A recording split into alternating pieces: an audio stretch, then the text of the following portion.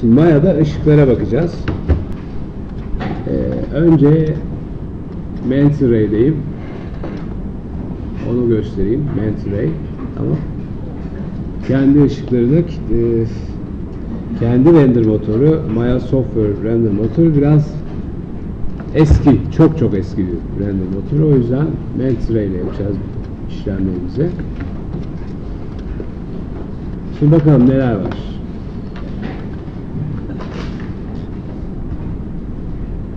Şimdi. Point light'ım var. Point light adı üstünde bir noktadan e, aydınlatma yapmamızı sağlayan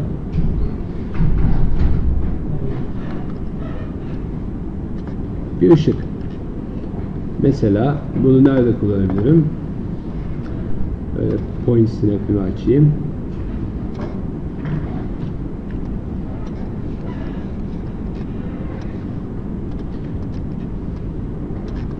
Burada kullanabilirim.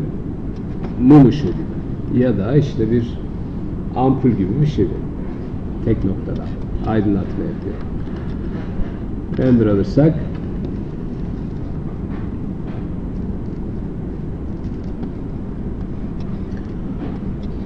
şu noktadan gölge de açık olduğu için önüne bir nesne çıktığı zaman gölge yapıyor. Bunun rengi var tabi. Efendim? Yapalım. Sarı yapalım. Çok fazla renk kullanmamak lazım. Yani böyle yaparsa e, çok yapay bir görüntü olur. Yani hafif sarı yapmam yeterli.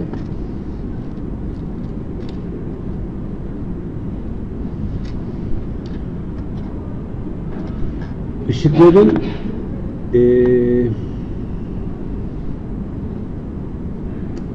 ne diyelim lan e, sınıfını şuradan da değiştirebiliyorum. Bakın şu an point light'ta bu. Buradan getirip başka bir şeye de çevirebilirim. Mesela ambient light. Yani şuradan tıklamak gibi bir şey aslında. Ambient light çok nadir kullandığımız ışıklardan bir tanesi bu sahneye çok yapay bir aydınlık veriyor.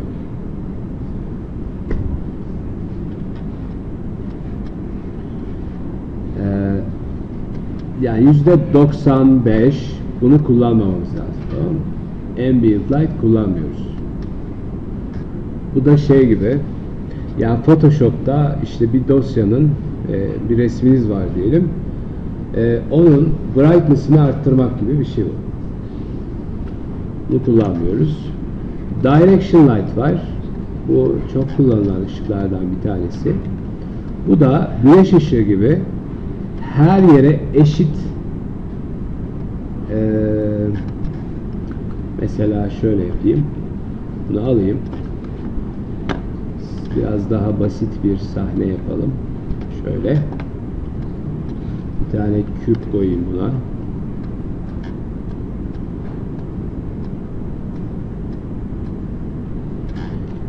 Kübüm var.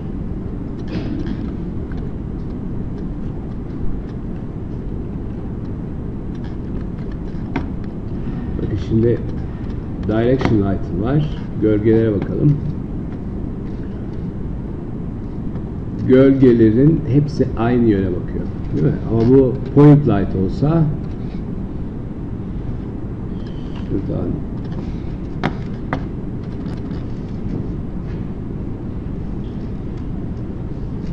hop aşağıda kalmış evet bunu şöyle alayım bu point light olsa hepsinin gölgesi ışık neredeyse ona göre ayarlanacak. Yani bu bu tarafa bakacak, bu da şu tarafa bakacak. Gerçek hayatta olduğu gibi. Yani biz direction light'ı güneş ışığı gibi düşünebiliriz. Bunun yeri önemli değil. Bakın demin aşağıdaydı. Render aldığında gözüktü. Ama point light'e çevirdiğinde point light aşağıda kaldığı için burayı aydınlatamadı. Direction light'ın yeri önemli değil. Yani burada da olsa aynı sonucu alırız. Işığın yönü bu. Ama ne etkiliyor bunu? İşte rotation değeri etkiliyor. Şöyle aşağı doğru çevirirsem o zaman gölgelerim daha kısa olacaklar. Gördüğünüz gibi. Ne var başka? Area light'ım var. Area light ise şuradan area light'ı çevireyim. Bakın area light yapınca bir tane çizgi var. Bu ışığın yönü. Bir de şöyle bir kare var. Bu kare de ışığın büyüklüğü oluyor. Yani bu da aslında floresan gibi geniş bir alandan e, aydınlatma yapmamı sağlıyor. Mesela şöyle yaparsam düz bir çizgi. Bu bir floresandır. Şu şu forma sokarsam bunu artık bu floresan gibi çalışır. Direction light dışında bir de ambient light. Direction ve ambient light dışında e, pozisyonları önemli ışıkları. Yani buradayken farklı sonuç verir, buradayken farklı sonuç verir. O yüzden şöyle yapayım. Şöyle. Şimdi bakalım.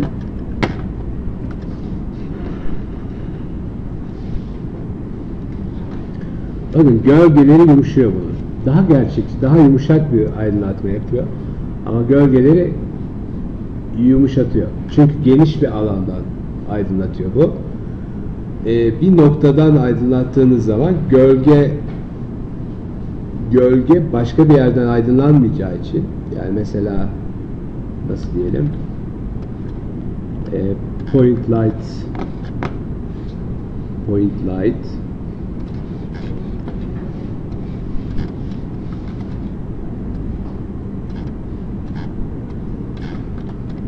Şimdi point light diyelim şuraya gölge düşürüyor.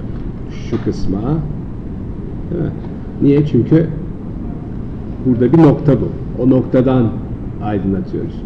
Ama bu daha geniş bir alandan e, aydınlattığı için mesela şuradan gelen ışık şöyle bir gölge düşürüyor ama bu taraf fın ürettiği gölge şuradan. Bu aradaki yerde yumuşuyor. Umarım anlatabilmişimdir. İşte ışıklandırma biraz şey sıkıntılı böyle lineer bir şey değil. İşte şuna basın şunu şu ayarı şöyle yapın işte çok güzel ışığınız olur diye bir şey yok. Işığın pozisyonu bile etkileyebildiği için. Herkes ekrana bakabilir mi? Etsem. Ee, pozisyonu bile değişik sonuç e, üretebildiği için maalesef biraz üzerinde çalışılması gereken bir konu.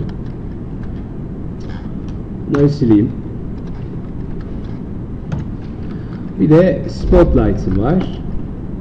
Spotlight da adı üzerinde yine e, bu sahne ışığı gibi davranıyor.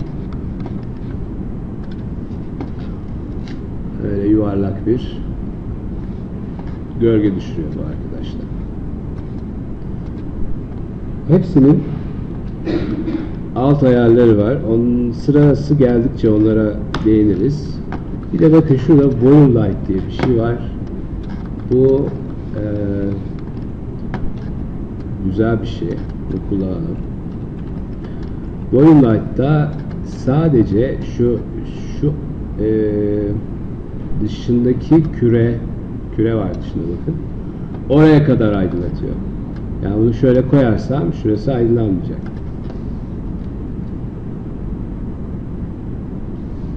Evet. En parlak noktası orta nokta. Dışarıya e, geldikçe siyahlaşıyor. Yani e, ışığın şiddeti azalıyor. Mesela gidip bunu şuraya koyabilirim.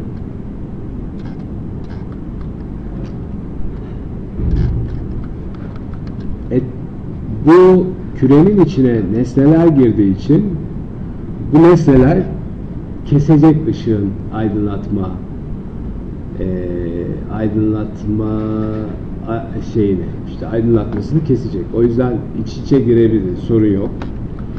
Mesela buraya koyduk. Buradan istiyorum ki mavi bir ışık gelsin. Şuradan mavi rengimi seçeyim. Şöyle.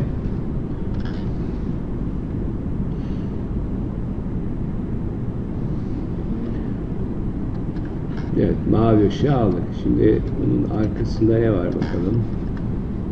Böyle dönmüşüz. Evet. Biraz daha büyütebilirim.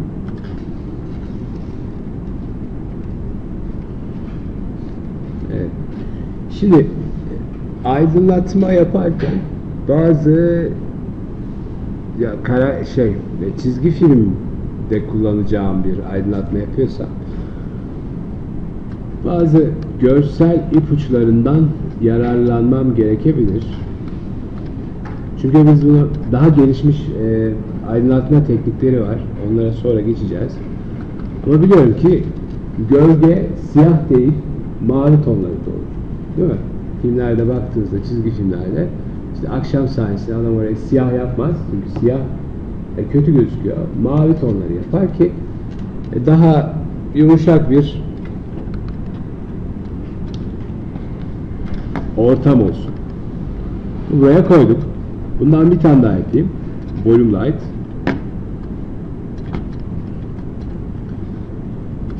Point snap'imi açtım.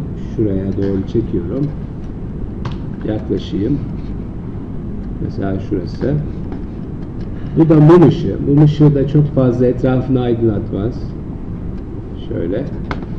Bu da sarı olsun. Şöyle kırmızıya yakın.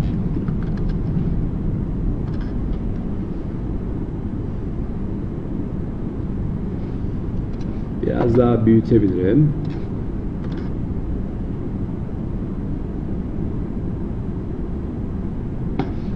Biraz daha kızıllaştırayım.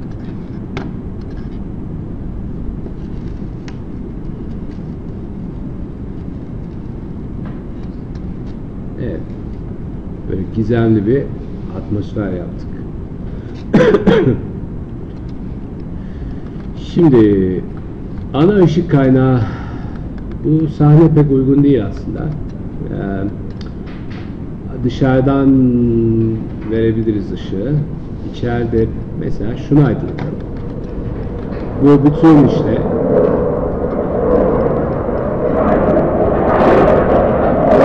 bütün sahneyi aydınlatıyormuş bu. Bunun için volume light kullanabilirim. Ya da point light kullanabilirim. Volume light kullanayım. Volume light'ı çünkü ne kadar alanı etkileyeceğini e, ayarlamak daha kolay. Yine point snap'i açtım. Şöyle üstüne bir yere bırakıyorum. Şöyle. Bu da yine beyaz o veya sarı bir şey yapalım. Render'a bastığımda bakın aydınlatmıyor bu etrafı. Bunun nedeni şimdi bu ışık aslında nesnenin içinde. Şimdi buradan ışık çıkıyor, çıkamıyor çünkü üzerinde iç, e, için bir şeyin içinde bu ışık.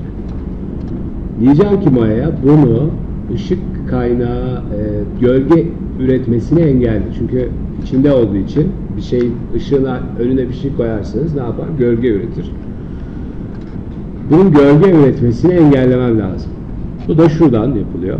Render status'ın altında e, Cast Shadow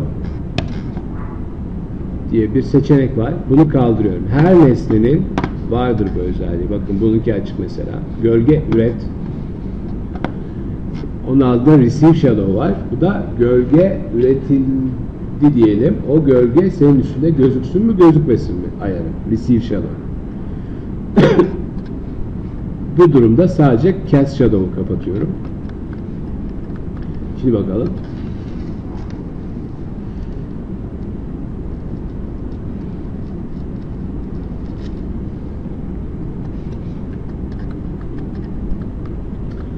Tabii ki texture'larımız olsa daha hoş gözükebilir sahnemiz. Evet. Şimdi bir de şöyle bir şey yapmam lazım. Şimdi bu nesne baktığımda mat bir nesne. Eğer bu ışık kaynağıysa bunun parlaması lazım. Bunu da materyali üzerinden yapmam gerekiyor. Materyal editöre giriyorum. Bir tane materyal yaratalım. Bu tarz eğer e, ışık kaynağı olarak bir şey kullanacaksanız Surface'ın altında Surface Shader var. Şu arkadaş. Bunun özelliği çok basit bir e, mater şey olması, materyal olması. Sadece renk bilgisi var üzerinde bunun. Böyle yaparsam bu beyaz sadece yani atadığım nesne silüet olarak o renge bürünüyor. Renk ayarına girelim. Biraz şöyle bir buna bir sarı yapalım hafif. Nesneye atayalım.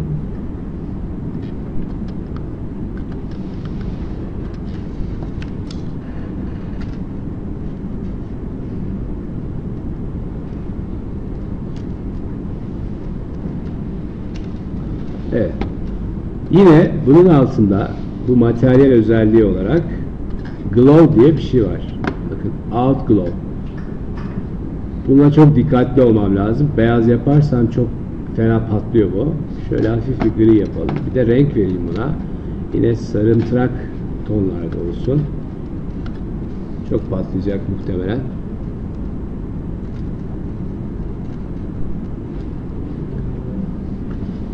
Biraz kısalım rengi.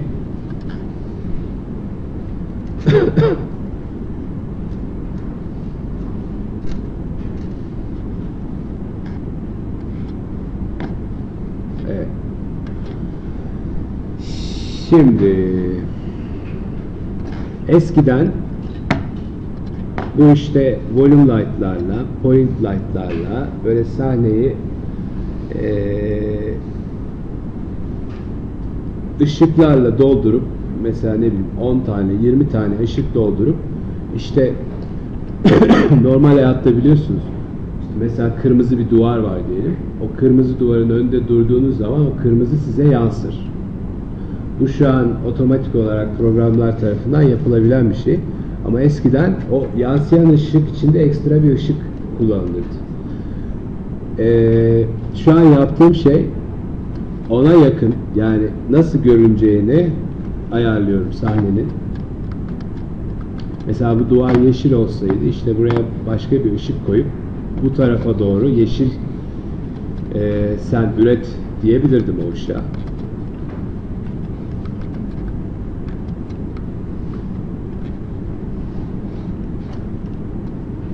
Bu eski yöntem. Eski ama daha kontrollü olabildiğiniz yöntem diyelim. Şimdi mesela işimizi kolaylaştıran bir ayarımız var. Bu da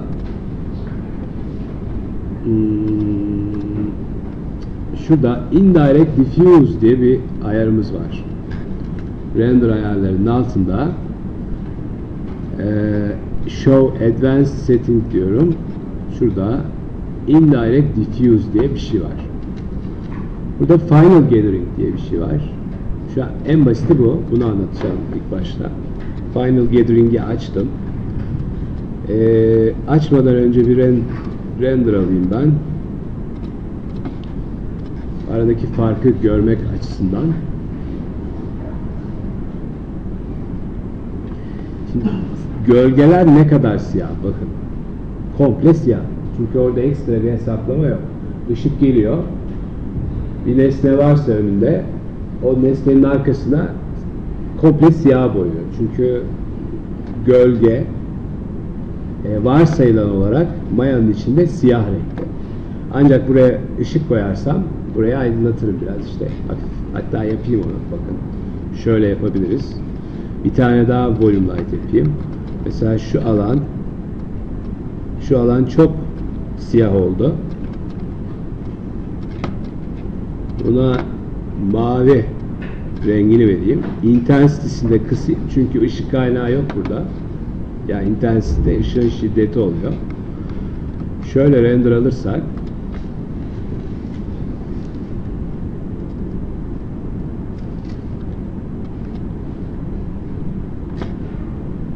Bakın şuralar mavi oldu değil mi?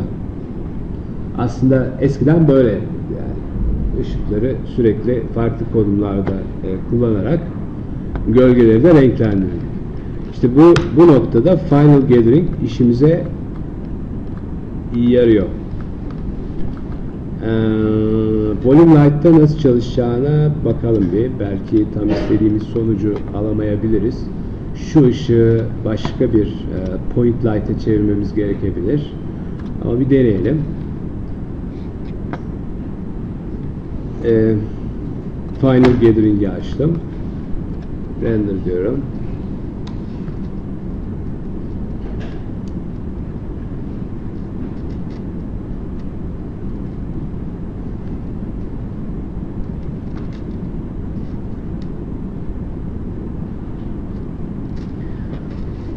Da orada gözüküyor mu bilmiyorum ama şöyle biraz yaklaşırsam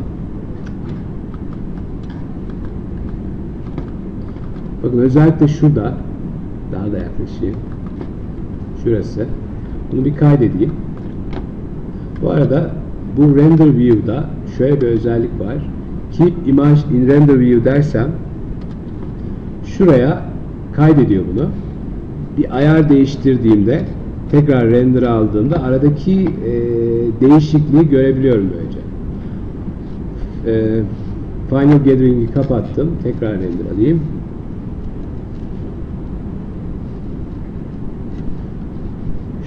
Şunun glow'unu kapatırsam muhtemelen daha rahat göreceğiz. Ee, materyal şu. Glow'u şimdilik kapatalım. Böyle bir render alayım.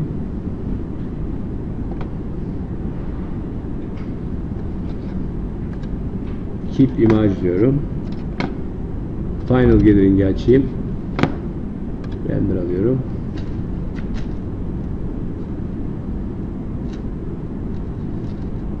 render süresi de doğal olarak artıyor. Çünkü artık daha çok şey hesaplıyoruz.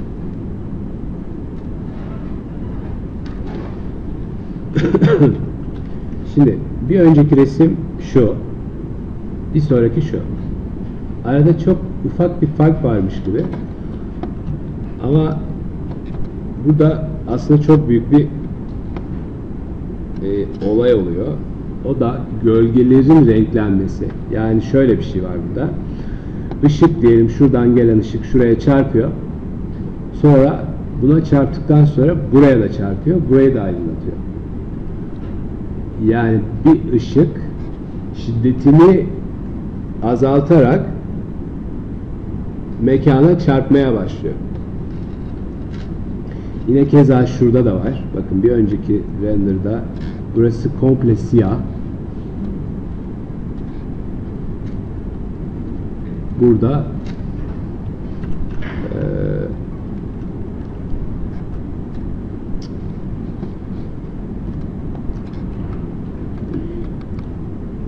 Burada gölge detayları da var.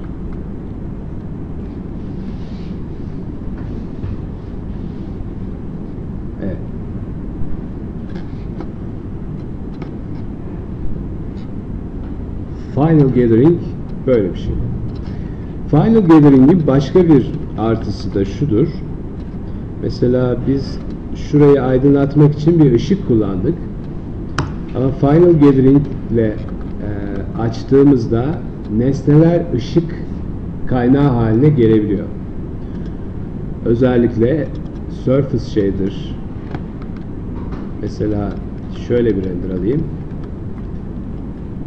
Bakın şu an burayı aydınlatan bir ışık yok. Sadece materyalde Surface Shader var. Render alırsam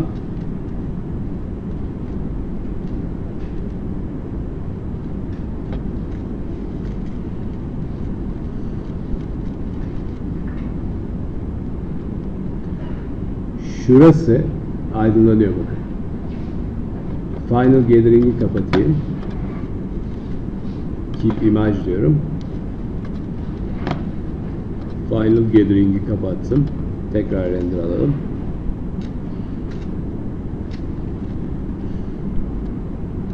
Bakın. Aradaki fark bariz. Şimdi ama bu bana yetmiyor. Bu bayağı aydınlatmasını istiyorum. Ee, bu ortada olduğu için çok fazla aydınlatamayacağız muhtemelen. Şu duvarı aydınlatamayacağız yeteri kadar. Ama bir deneyelim bakalım. Şimdi Surface Shader'a tıkladım. Bunun aydınlık değerini veren şey alt kalır. Şuraya tıkladığımda H, S, V diye bir şey var. Hu, bu Hu yani renk bilgisi, saturation renk doygunluğu V de value diye bir şey. Tam olarak neye karşılık geldiğini bilmiyorum ama biliyorum ki bu bir değil de daha yüksek bir sayı olursa bunun yaydığı ışık da artıyor. Mesela 5 yapayım. Şimdi efendim olmadı mı?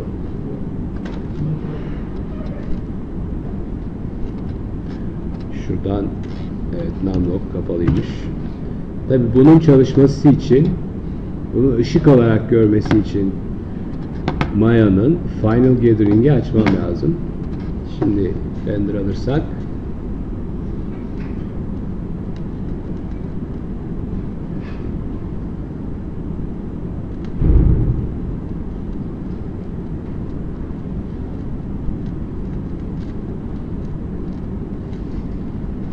Bakın yavaş yavaş buralarda aydınlanıyor. Bir önceki sahneyi ne, kaydetmemişim. Bunu böyle alayım. Keep image dedim. Bunu kaydettik. Final Gathering'i kapatalım.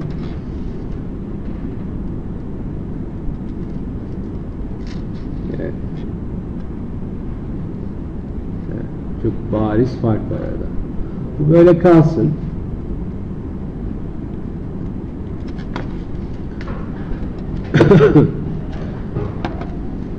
Şimdi bu yaptığım her şeyin iyi gözükmesi için ekstra ayarlar yapmam gerekiyor. Mesela ilk ayarımız overall quality diye bir şey var burada. 0.25'te bu. Yani 4 kat daha kötü gözüküyor aslında. Önce bunu arttırıyorum. 1 yapıyorum. Tabi bunları arttırdıkça render sürelerim de artıyor. Final Gathering'i açmamışım.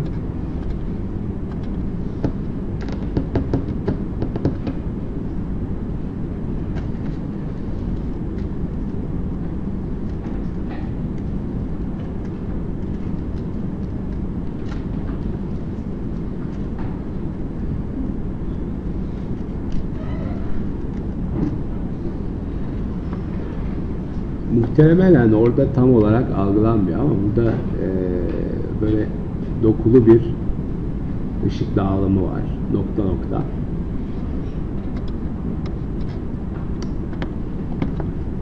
Bunlara sonra gireyim. Biraz karışacak iş. Eee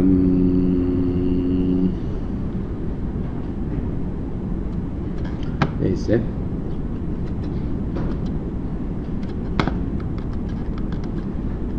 Şimdi Final Gathering'i açtıysam o zaman dışarıdan da ışık yollayabilirim buraya. Bir tane ha şey yapalım. Direction light yapalım. Dışarıda işte ay varmış.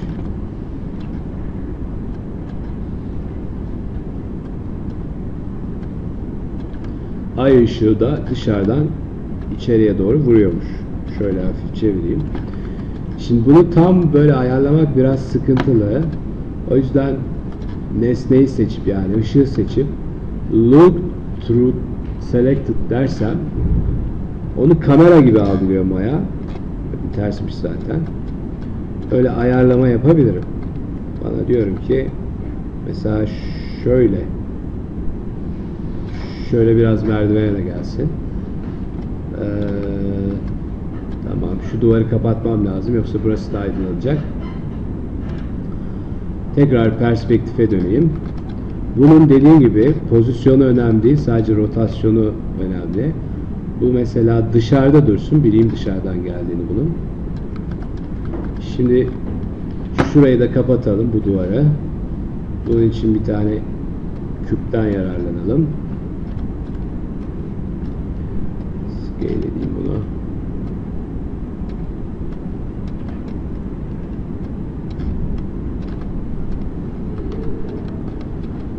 Ee, şöyle bakalım sahneye.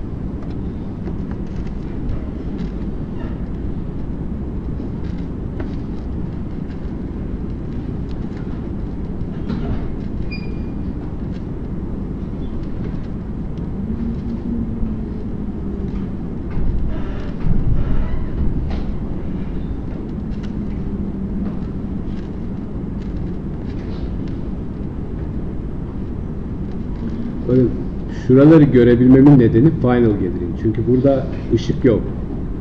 İşte bir tane şurada özellikle mesela şuralarda ışık yok. Şurada bir ışık kaynağı var. Ee, buraları aydınlatan şey final gathering. Tamam mı? Şu ışık biraz fazla parlıyor. Bunu seçeyim. Biraz ufaltayım bunu. Biraz daha rengini koyulaştıralım. Biraz daha mavi olsun. Tekrar bakayım.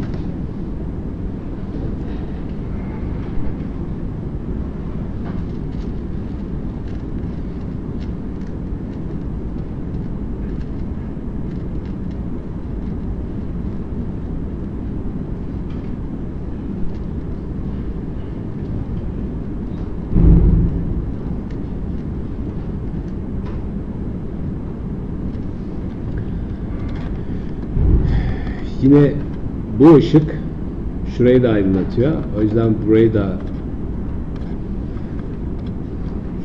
şunla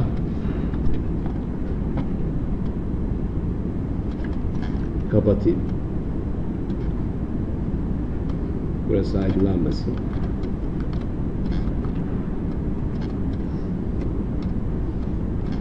Tamam. Evet.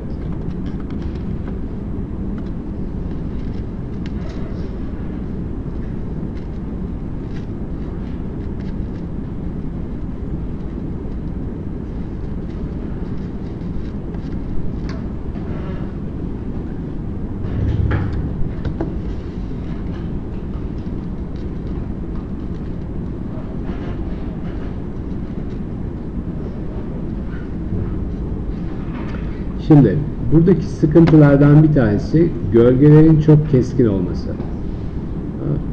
Niye? Çünkü direction light'ı var. Güneş ışığı gibi davranıyor bu. Ama güneş ışığı bile olsa e, dışarıda baktığın zaman gölgeye uçlara doğru biraz daha kontürlerinin, gölgenin kontürlerinin e, flulaştığını görürüz. Blur olduğunu görürüz yani. Bunun için ya benim dışarıdaki ışığı başka bir ışığa çevirmem lazım. Area light gibi bir şey yapmam lazım. Area light ama render süresini çok uzatan bir şey. Ya da başka bir ayar bulmam gerekiyor. o da direction light'ın içinde eee, light angle diye bir şey var burada. Light angle. Bunu çok yükseltmemek gerekiyor. Mesela bir yapayım. Yine sıfırkenki haline bakalım.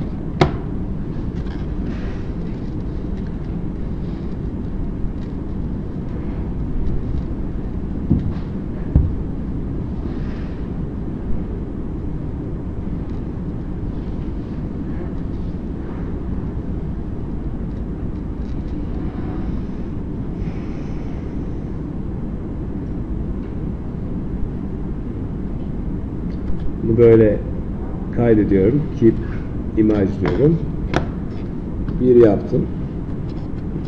Bir.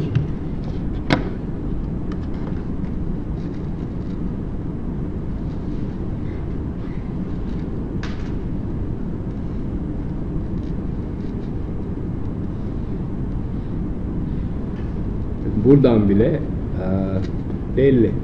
Bunları yumuşatacak.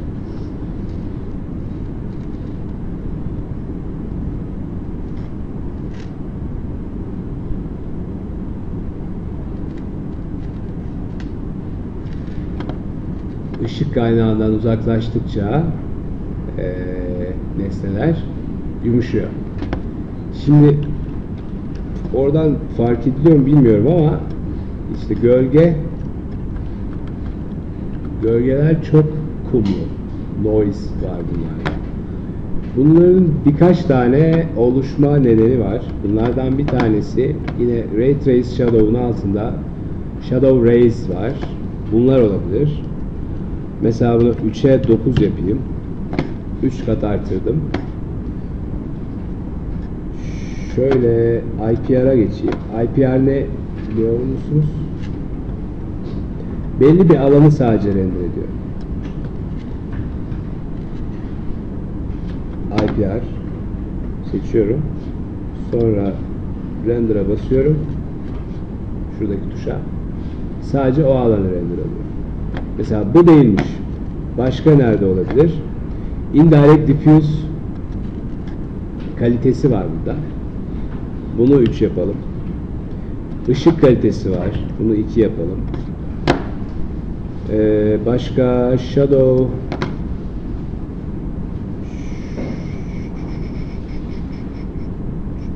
Başka ne olabilir? Bakacağız. Tekrar renderlasın burayı.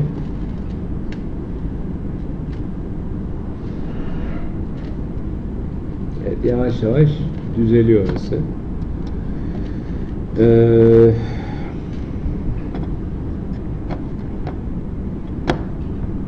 şimdi bu sadece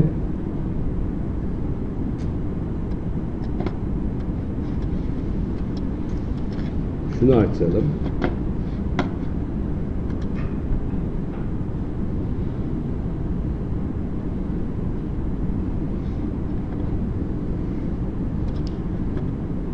Hmm.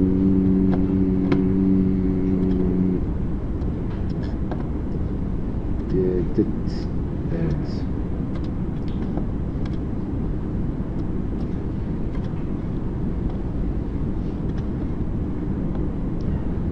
Light sample. Bunu artıralım. Tekrar bakayım.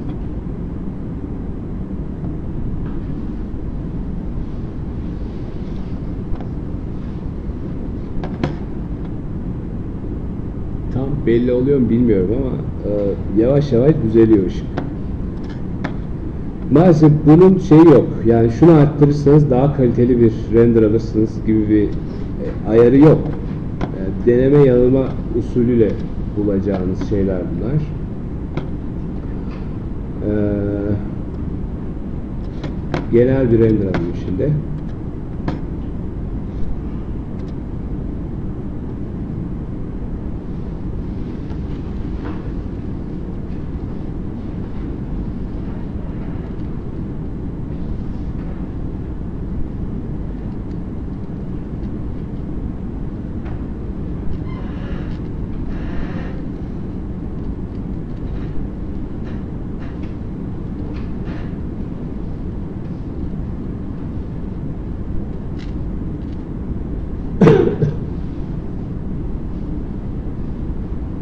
İşte tabii en kötü yanı ya işte sahne biraz karıştığında yani birkaç tane ışık kullandığınız zaman işte Final Gathering gibi bir şey açtığınız zaman e, ne yaptığınızı görmeniz biraz vakit alıyor. O da can sıkıcı. Dediğimiz gibi şey Mental Ray e, biraz eski bir render motoru. Bir sürü yeni güzel render motoru var işte. Arnold var mesela kullanamadığımız. Ee, orada mesela bir tane ışık yapmanız yeterli oluyor bu tarz efektleri alabilmek için. Görece daha hızlı. Ama işte evinizdeki bilgisayarla çalışmaya pek uygun bir render motoru değil. Çünkü hani bir anda görüyorsun işte yaptığın ışıklandırmayı ama işte bu noktaları, e, noise'ları nasıl egale edeceğim diye düşünmeye başlayıp çalışmaya başladığında o bilgisayar yetmemeye başlıyor. Ee, yine ekran kartı üzerinden render alan render motorları var. Onlar çok daha hızlı, 10 kat daha hızlı hatta. Ama pek stabil olmuyorlar işte. Film emanet edemiyorsun mesela ona işte. Ya bu üzerine çalışılması gereken bir alan. Render başlı başına ee, bir uzmanlık alanı. Evet, böyle bir render aldık. Şuna tekrar bir glow'unu vereyim. Neredeydi? Şurada.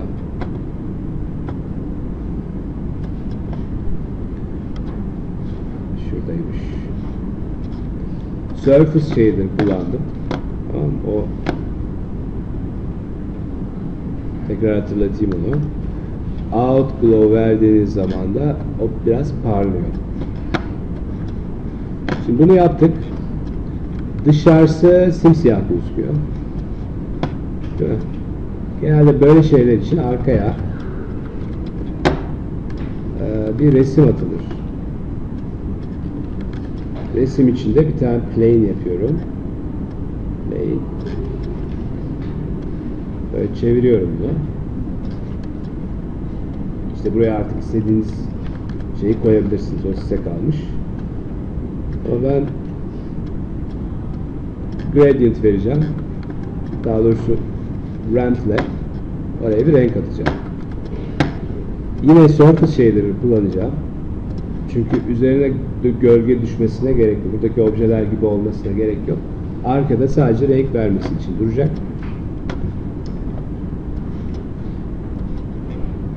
Surface Shader bunu seçip şöyle Node editörü aldım. Buraya ne diyoruz? Ramp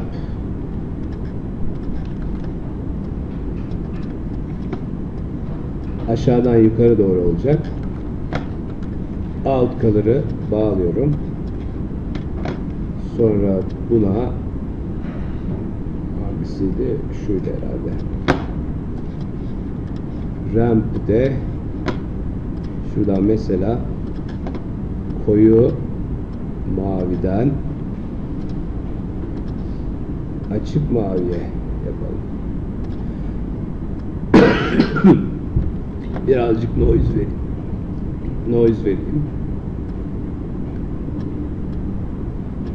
Evet.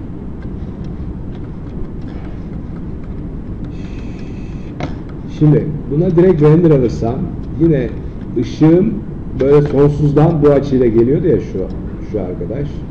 Sonsuzdan şu açıyla geliyor. Önüne böyle bir nesne çıkıyor. O yüzden bunu seçip yine render statından cast shadow, receive shadow da olmasın. Yani gölge üzerine almasın, gölge üretmesine çevirmem lazım ki bu ışık bunun içinden geçebilsin. Yoksa burada takılır, şuraya gölge düşürür. Öyle yaptık. Şöyle render alalım şimdi.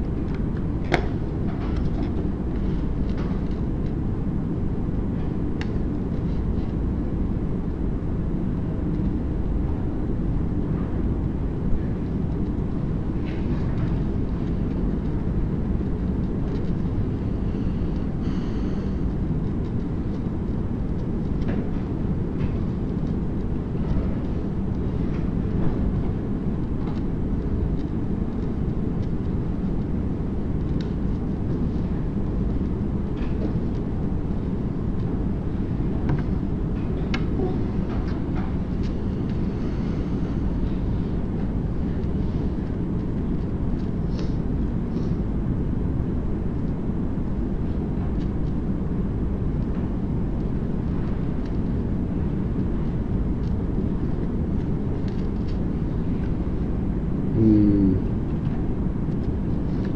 Bu üzerine almamış bizim materyali. Öyle mi? Aa, yanlış şeye bağlamışız. Evet. Doğru. 7'ye basayım. Şimdi var. Biraz da şey yapacağım. Bu da şu pencere kenarlarına aydınlatması için biraz arttıracağım bunun V'sini. Değil mi? Şurada yaptığımız şey yapacağım. Bu da ışık saçması için. HSV kanallarından V'sini arttırmıştım. Bu da şurada. Çünkü out color'ı artık bu bağlı, ramp bağlı. Ee, şuna gireyim.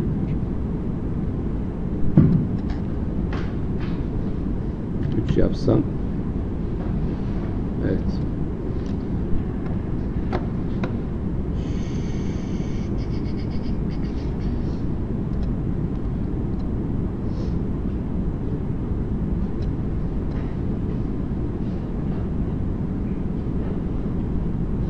Şöyle yapalım.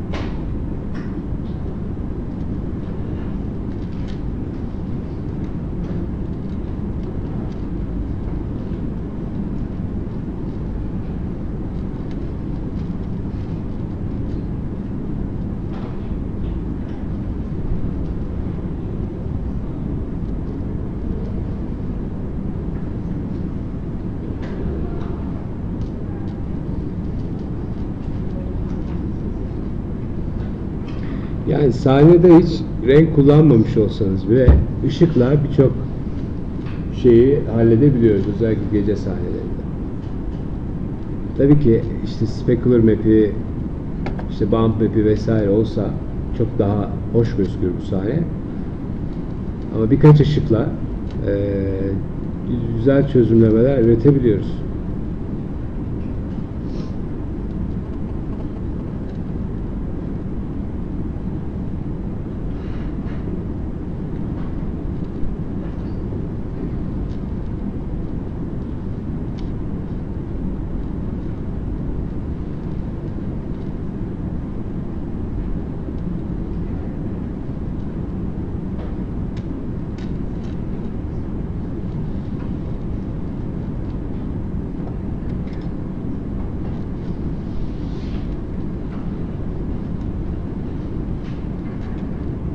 Evet. Var mı bir şey soracak? Hmm, bir sonraki de derste bugün belki olur ya da bir haftaya olabilir. E, Global Illumination diye daha başka bir aydınlatma çeşidi var. Onu göstereceğiz. Final gathering bu şekilde.